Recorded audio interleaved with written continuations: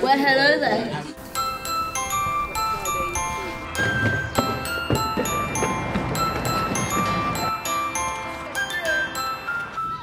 St Paul's Adventure Playground is an open access space that children between the ages of 5 to 15 can come to and it's a space that's going to promote risky, adventurous play, creativity, um, a place to develop social skills and for families and communities to sort of come together. Fact it's so varied, and there's such different activities for him to do and to interact with other kids. It's not just a swing and a slide, it's the ability to work together with other kids on the big rope swing.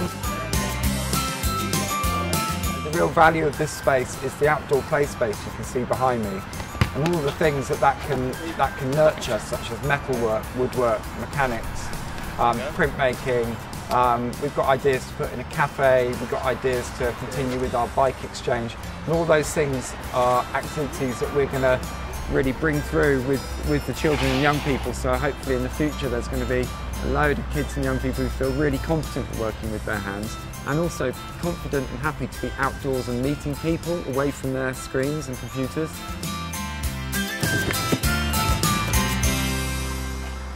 So family members, friends, other organisations, local people can come in to use the space um, for birthday parties, for putting on training, um, for putting on kind of workshops, all those sorts of things. So we want this to be a facility that all people from the community of St Paul's feel they can access and enjoy.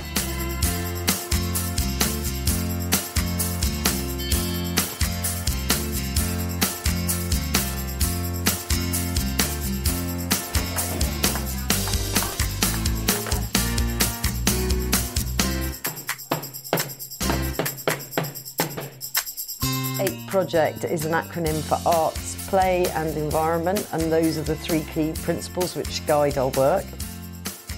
We fundraised to get a baking oven, so a bread oven and um, and coffee machine so we can start to build this enterprise of running a, a community kitchen and bakery.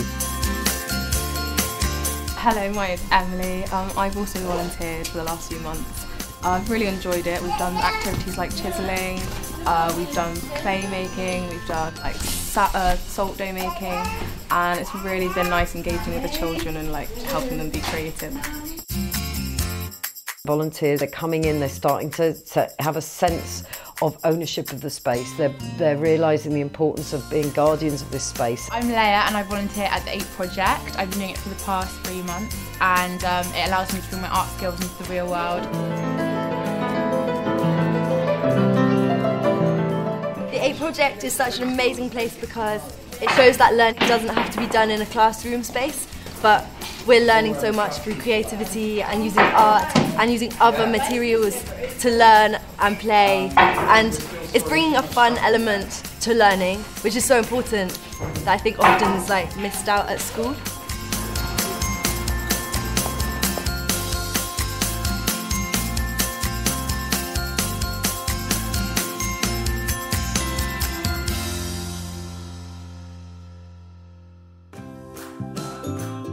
Over the last 10 years. We've slowly built a very good reputation in Bristol um, and we're really about supporting children, families and young people through a variety of different approaches um, and projects which allow children and families and young people to get a very hands-on, experiential possibility of engagement. The difficulties we've faced are taking on a building that needs an enormous amount of work. A very real threat is funding cuts and not being able to get funding.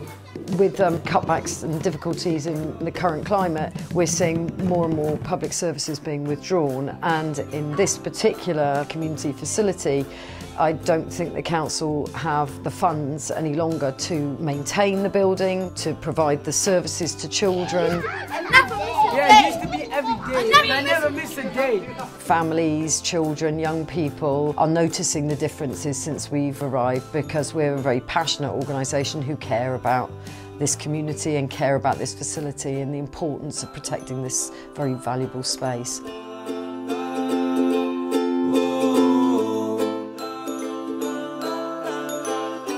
I love this place.